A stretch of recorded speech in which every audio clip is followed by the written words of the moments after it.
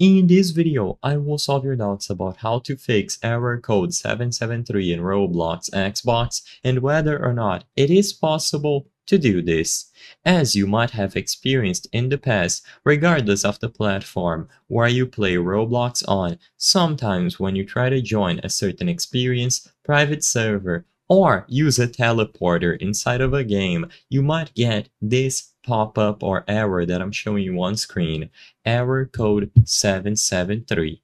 Now, why does this error happen? Like I said in the beginning of this video, usually it is because you tried to teleport to a certain area that doesn't allow teleports or if you join a server altogether.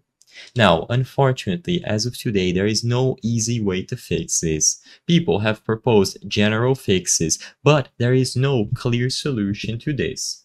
Now, assuming that you are trying to join a friend or that you are trying to go to an area inside of an experience either alone or together, what you can try to do is switch accounts. So create a test account just to be sure.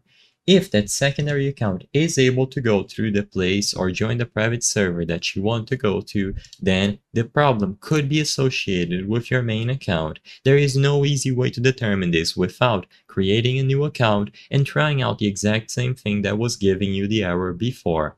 Once you are done trying, you will be able to determine which account has the problem and Sometimes, if you are trying to join a private server for, from your friend and you are getting this error, this could be because they are on different platforms. I would recommend switching the roles so you can try creating the private server and they can join you instead.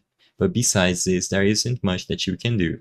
The purpose of this video is not to spread misinformation, but let people be aware that error code 773 is very random in the way that it works, and there is no quick solution to this. Usually it is going to go away by itself, or you can try using different accounts to force it to stop happening. If this video cleared up any questions that you had, please be sure to leave a like and subscribe for more very easy tips. Thank you for watching.